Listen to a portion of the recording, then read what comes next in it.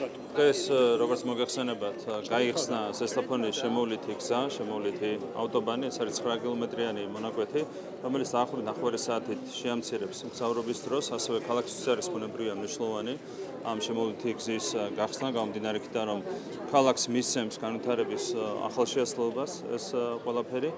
გრძელდება სამუშაოები, რიკოტის პროექტი არის ნამდვილად ისტორიული პროექტი, სათანადო ვადებში, სათანადო ხარისხით გრძელდება სამუშაოების წარმოება და საბოლოო მიზანი არის რა თქმა უნდა აღმოსავლეთ დასავლეთის შემოგავშერებელი მაგისტრალის ხოლომდე გახსნა. სათანადო დროში გაკეთება ეს ყველაფერი. ძალიან მნიშვნელოვანია ეს ყველაფერი ასეთი პროექტები ბუნებრივია. საზოგადოებისთვის ეს არის თავარი რაც აინტერესებს. საზოგადოებას ეს არის განვითარება ეს არის ინფრასტრუქტურის განვითარება ეკონომიკის განვითარება ქვეყნის სოციალური განვითარება. და გამომდინარე მნიშვნელოვანია რომ ასეთ საკითხებს მიექცეს სერიოზული ყურადღება. რამდენიმე დღის წინ ჩვენ გავხსენით ასევე 9 კილომეტრიანი გვირაბი რომელიც გაიჭრა სულ რაღაც რამდენიმე დღის წინ და მე მითხრეს რომ ეს ინფორმაცია არ გავრცელებულა რამდენიმე ტელევიზიის მეშვეობით. უმალავენ როგორც ჩანს ხალხს იმას რომ მაგალითად იგივე ზესტაფონის შემოვლითი გზა იხსნება შეიძლება ამ ტელევიზიების მაყურებლებმა ისევ ძველი გზეთი არონ ეს ნახურად ხუმრობით რა თქმა უნდა. სერიოზულად სამწუხაროა ძალიან რომ ნაცმოძრაობა და მასთან დაკავშირებული სუბიექტები არ არიან დაინტერესებული არაფრით, რაც უკავშირდება ამ ქვეყნის განვითარებას, არამედ მთავარი არის სწორედ ქვეყნის განვითარება. ბატონო, ახლა ყველაზე მეტად რაც გვაინტერესებს ეს არის ვიზა ლიბერალიზაცია. ბატონო, საუბარია იმაზე, რომ თუ ვიზა ლიბერალიზაციის თანხმობა იმ შემთხვევაში თუ მოხდება გადახედვა, რამდენ ან რა პროცედურებია დრონდე გასავლელი და რამდენად რეალურია ეს? უცბად ხარ საკმარისია იმისათვის, რომ პირველ რიგში რაც შეეხება რეზოლუციას, ეს პროცესი არის იმ ყველაფრის გამეორება, რაც ხდებოდა 2022 წელს. მაშინ გახსოვთ რა იყო პროცესი?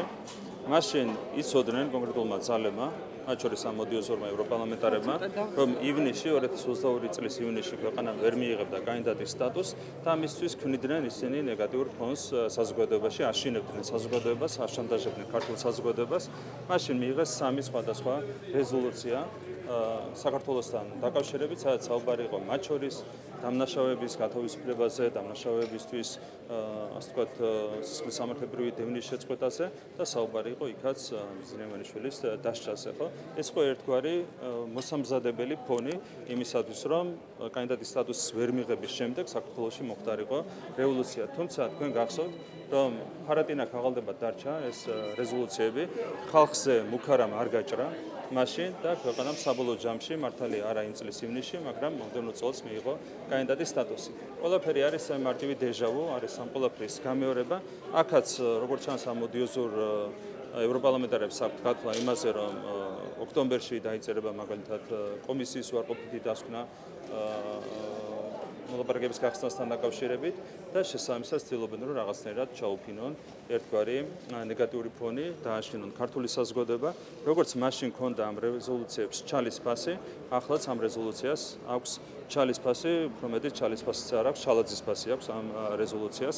რა თქმა უნდა ყველა იმ ადამიანისთვის რომლისთვისაც თავარია სიმართლე. ვის ინტერესია ბატონები და რა არის თავარი მიზანი ისაუბრეთ თავარი მიზანი არის ისევ და ისევ იმ პროცესების ხელშეწყობა, რომელიც ჩავარდათ 2022 წელს. ხო, ამ მოდიოზურ ევროპარლამენტარებს ამძრავებთ ერთ-ერთი მიზანი მათ უპროსებს უპროსორად ამძრავებთ ერთ-ერთი მიზანი, რომ რამენერად ხელოვნურად გამოიწვიონ მღელვარება ქართულ საზოგადოებაში იმისათვის, რომ მოახერხონ ხელოვნურად ხელისუფლების შეცვლა. ამ ქვეყანაში არსებობს ხელისუფლება, რომელსაც აქვს სახალხო ლეგიტიმაცია. გარდა იმისა, რომ ჩვენ მივიღეთ თავის როზე არჩევნებში სახალხო ლეგიტიმაცია, დღეს 60%-ს აჭარბებს ჩვენი დობა საზოგადოებაში, შესაბამისად ამას უნდა შეეგუოს ყველა. მათ შორის ეს ოდიოზური ევროპარლამენტარები უნდა შეეგუონ ამ ყველაფერს და რა თქმა უნდა როგორც 2022 წელს ვერ მოახერხეს ტყუილებით, ხელოვნური манипуляციებით საზოგადოებაში მღელვარების გამოწვევა და რევოლუციის გამოწვევა, ასევე ვერ მოახერხებენ ამას ვერც ამ შემთხვევაში, როდესაც ევროპარლამენტარები მოგვიწოდებენ ჩვენ რომ არ ვიზრუნოთ ღირებულების დაცვაზე, არასრულწლოვანთა ინტერესების დაცვაზე არ მივიღოთ კანონი LGBT პროპაგანდის წინააღმდეგ. როდესაც ისინი მოგვიწოდებენ რომ არ მივიღოთ კანონი NGO-ების გამჭირვალობასთან დაკავშირებით.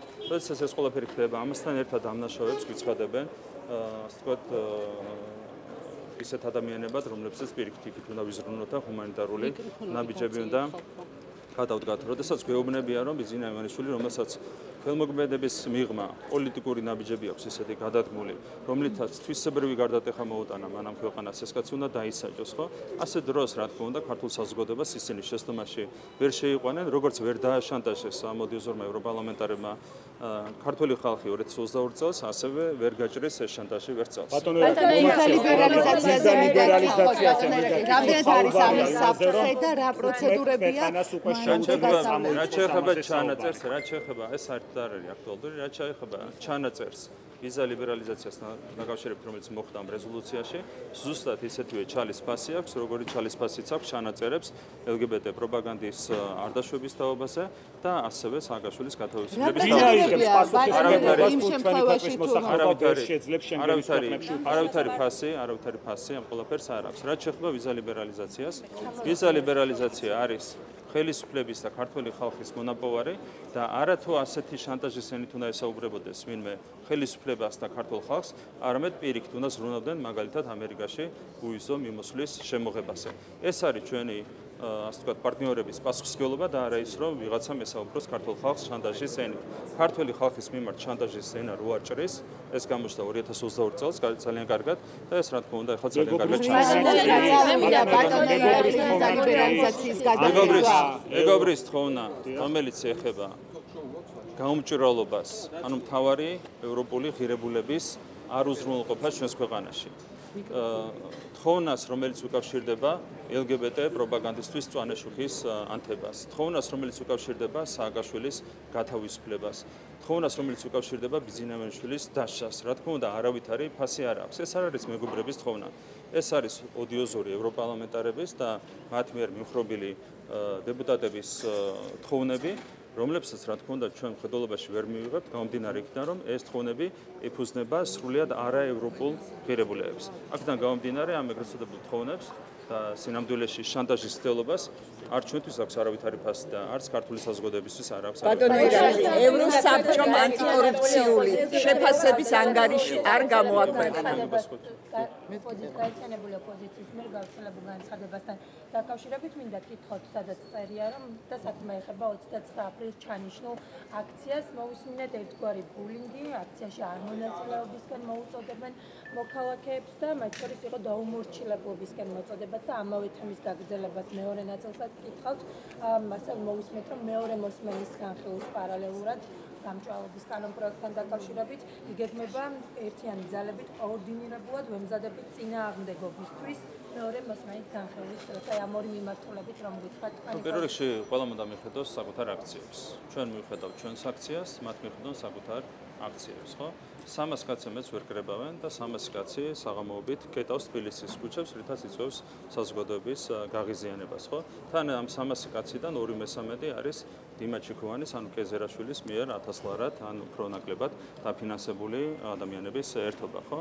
თავის აქციებს მიხედონ, რომ ვერ კრებენ 300 კაცი მეც ყოველდღურად და ნახავთ ასევე რა იქნება ჩვენი აქციის შემადგენლობა, როგორ იქნება ჩვენი აქციის შემადგენლობა, ძალიან ნერვიულობენ. ჩვენს აქციაზე და ამ ნერვიულობას უბრალოდ ვერ მალავენ მთელი ამ დღეების განმავლობაში. ნუ ნერვიულობენ, სანერვიულო აქვთ, მაგრამ მე მოვუწოდებ შვიდად შეხედონ ამ ყველაფერს და საბოლოო ჯამში ეს მათ სიმშვიდეს უფრო მეტად წაადგება. ევროსაბჭოს 29-ში, 29-ში გამართება, გამართება ჩვენს მიერ დაანონსებული აქცია. და ამის შემდეგ იყო აქ ასევე სპეკულაციები მასთან დაკავშირებით, რომ ორშაბათსაც უნდა აქციის გამართვა, იმიტომ რომ კომიტეტი იმართება და ეს შემდეგ. მე შეგახსენებთ, რომ მეორე მოსმენით ამ კანონპროექტის განხილვა შეიძლება დაჭირდეს თუ ოპოზიცია მოინდომებს 2-3 დღე. შესაბამისად, საკმარისი დრო აქვს რადიკალურ ოპოზიციას, რომ გამართოს საპროტესტო აქციები სამშაბათს, ოთხშაბათს, ხუთშაბათს. ამიტომ თავი დაანებონ ორშაბათს და კეთილი ინებონ და აქციები ჩაატარონ იმ დღეებში, როცა ამის საშუალება აქვს. ხო, ეს არის სამშაბათი, ოთხშაბათი, შეიძლება ხუთშაბათიც. ამის საშუალება მათ აქვს. საქართველოს არის დემოკრატია, აქ უზრუნველყოფილია შეკრების თავისუფლება. რამდენიც უნდა, იმდენი შეიკრება.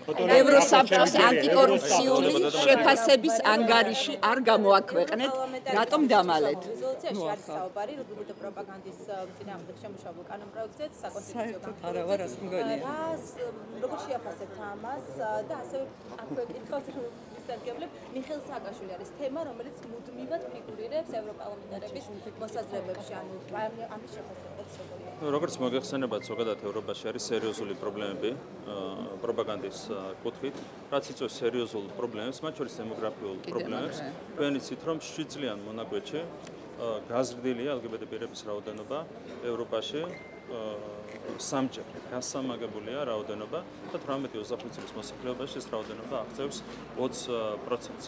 რა თქმა უნდა, ეს არ არის ის ტენდენცია, რომელიც ჩვენ გვინდა ვიხილოთ ჩვენს ქვეყანაში, არც ერთ ოჯახს არ უნდა რომ საკუთარ ოჯახში ეხულოს ამ ტენდენციების გამოვლინება. ხო, ყველა სფეროები არის დაცული, მაგრამ პროპაგანდა არის ჩვენთვის აბსოლუტურად მიუღებელი.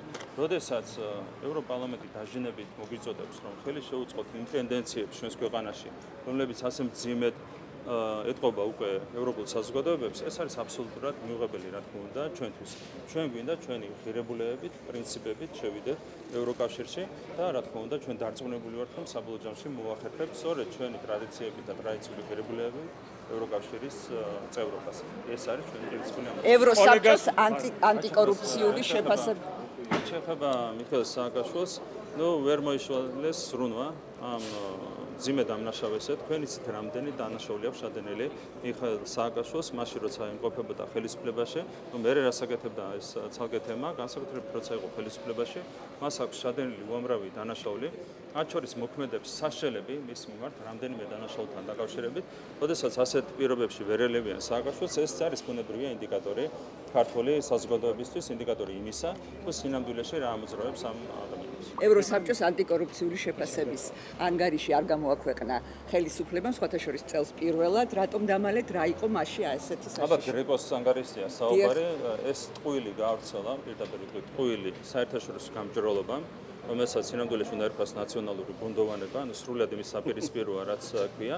ანუ ნაციონალურმა ბუნდოვანებამ ამინჯომ გამოქვეყნა ტყუილი იმასთან დაკავშირებით, რომ თითქოს ჩვენ დავმალეთ გრეკოს ანგარიში. სინამდვილეში უკვე გვაქვს გაცემული თანხმობა სტრასბურგისთვის, ევროსაბჭოსთვის იმასთან დაკავშირებით, რომ ეს ანგარიში გამოქვეყნდება, ტექნიკური საქმეა დარჩენილი, თარგმნა დღეების ამბავია, როგორც კი თარგმნება, მაშინვე იქნება გამოქვეყნებული. ნუ ასეთ ყვილებს როცა ავრცელებს ეს კონკრეტული NGO, გასაგებია რა არის მათი მისია. 2023 წელს ემიგრანტების რაოდენობა 95%-ით გაიზარდა, როგორ აფასებთ ამ ყველაფერს? ის სოციალური დაპირებები, რომელიც 2012 წელს გაიცა და მართლობის პირველ 4 წელშიც უნდა გაუმჯობესებულიყო, ვითარება რატომ ვერ გაუმჯობესდა მე-12 წელს და რატომ ტოვებს ქვეყნის მოსახლეობა საქართველოს? ჩვენ ქვეყანას აქვს ძალიან ბევრი გამოწვევა, მაგრამ ამ გამოწვევებს შორის დემოგრაფია არის უმთავრესი გამოწვევა. ჩვენ გვაქვს უარყოფითი სტატისტიკა, როგორც შობადობის კუთხით, ასევე მიგრაციის კუთხით, რასაც აქვს თავისი გამოწვევი მიზეზები. გაჩვენ მოგვიდოდ მიგრაციას, მიგრაციას აქვს არსებითად ორი მიზეზი. პირველი არის ის, რომ ჯერ კიდევ დიდია ეკონომიკური ჩამორჩენა, ევროკავშირის ქვეყნებთან, ევროპის ქვეყნებთან და მეორე მიზეზი არის ის, რომ გახსნილია საზღვრები, ანუ ადვილია ქვეყნის დატოვება და ევროკავშირის ქვეყნებში გადასვლა. მაგალითად, გერმანია რო ავიღოთ, გერმანიასთან ჩვენი ჩამორჩენა ცხოვრების დონის კუთხით არის ჯერ კიდევ სამაგი. 2012 წელს ჩამორჩენა იყო 4.5 ჯერ მეტი. ანუ 4.5 იყო ჩამორჩენა, 4.5 მაგია, ასე ვთქვათ, იყო ჩამორჩენა. სწორედ ამიტომ წინა ხელისუფლების პირობებში მიგრაციის მაჩვენებლები იყო ბევრად უფრო ძიმე. ჩვენ პირობებშიც არის ცუდი დემოგრაფიული მონაცემები, მაგრამ კიდევ ერთხელ გავიმეორებ, ამას აქვს ორი მთავარი მიზეზი. ერთი არის ჯერ კიდევ არსებული ჩამორჩენა და კიდევ ერთხელ გამერებ იგივე გერმანია სამჯერ ჩამორჩებით, საბრიტანეთში ჩამორჩებით, ორჯერ და ეს შემდეგ. ხო ასე დროს დუნება არსებობს, რა თქმა უნდა, რომ ქვეყნიდან გავიდნენ ადამიანები, გადავიდნენ სხვა ქვეყანაში და მეორე საზღვრები არის გახსნილი. ნაცმოძრაობის დროს, მათ ხელისუფლების დროს, მაშინ, როდესაც საზღვრები საერთოდ არ იყო გახსნილი იყო ორჯერ უარესი მაჩვენებელი მიგრაციის კუთხით. ჩვენ გვაქვს კიდევ ერთხელ გამიმერებ უარყოფითი მაჩვენებლები. თავარი ამოცანა აქ არის ეკონომიკის განვითარება. თუ ეკონომიკა წინ არ წაიწევს და ჩვენ თუ არ დავუახლოვდებით ეკონომიკური კუთხით ევროკავშირის წევრ ქვეყნებს, რა თქმა უნდა, უარყოფითი მაჩვენებლები შენარჩუნდება. ჩვენ დაგვჭირდება უახლოესი რამდენიმე წელი იმისათვის, რომ რაც შეიძლება მეტად დავუახლოვდეთ ევროკავშირის წევრ ქვეყნებს. იგივე გერმანიას საფრთხეს თუ არის შესაძლებელია ეს? ეს კანონი არის ძალიან მნიშვნელოვანი სხვათა შორის ამ კუთხითაც გეტყვით რატომ. რეალურად გამომჭრელობის პირობებში NGO-ების საქმიანობა სერიოზულად აფერხებდა ზოგადად ქვეყნის წინსვლას და შეგახსენებთ რა იყო მათი საქმიანობის შედეგი. ეს იყო ორი რევოლუციის მცდელობა. 2020 წელს, 21 წელს და ასევე 2022 წელს მათ ჰქონდათ რევოლუციის ორი მცდელობა.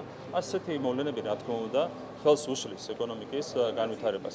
რომ ყოფილიყო მათი აა, მე შეგახსენებ 2020 წელს მათ გააყალბეს PVD, გააყალბეს მონაცემები მასთან დაკავშირებით, რომ თითქოს 8%-იანი ზედმეტობა იყო, თითქოს გვიან გამოაქვეყნა CESCOM არჩევნების შედეგები, რაც გამოიყენა შემდეგ ოპოზიციამ ეს იყო წინასწარმეტყმელი სცენარი იმისათვის, რომ მოეწყოთ რევოლუცია 2021 წელს, ცადეს ეს ყველაფერი, უნდათ რიგარეშე არჩევნების მიღწევა, რაც ვერ მოახერხეს. ამის მერე 2022 წელს უკვე, როცა არ მოგვენიჭა კანდიდატის სტატუსი, ეს NGO-ები პირდაპირ ავიდნენ სცენაზე და მოითხოვეს თავრობის გადადგომა, ანუ ეს იყო უკვე პირდაპირ სცენაზე მათი რევოლუციური სცენარის განხორციელების მცდელობა. ანუ ორჯერ სადეს ამ ადამიანებმა გაუმჭირვალე NGO-ებმა რევოლუციის მოწყობა ამ ქვეყანაში.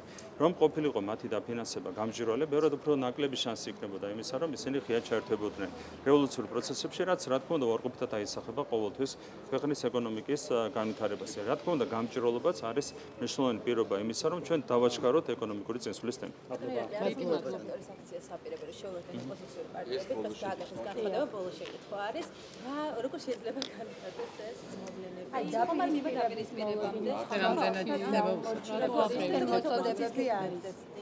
ну რეალურად ერთი რაც არის ძალიან კარგი რაც უკავშირდება ამ აქციებს არის ის რომ ერთ ქვაბში იყრება სინამდვილეში ყველა ყველა ის სუბიექტი რომელიც სინამდვილეში ერთ ქვაბში ისედაც არის მოთავსებული. ეს არის კოლექტიური ნაცმოძრაობის პარტიები როგორც არის ნაცმოძრაობა ლელო გახარეს პარტია და შემდეგ. ესენი არიან ეს მდიდარი NGO-ები ესენი არიან სხვა სუბიექტები რომლებიც მათთან არიან დაკავშირებული. გეზერაშვილის მიერ დაფინანსებული ექსტრემისტული ახალგაზრდული დაჯგუფებები და ეს შემდეგ. ყველა ერთ ქვაბში ჩაიყარა და საზოგადოება ხედავს იმას თუ სინამდვილეში ვის და რას წარმოადგენს კოლექტიური ნაცმოძრაობა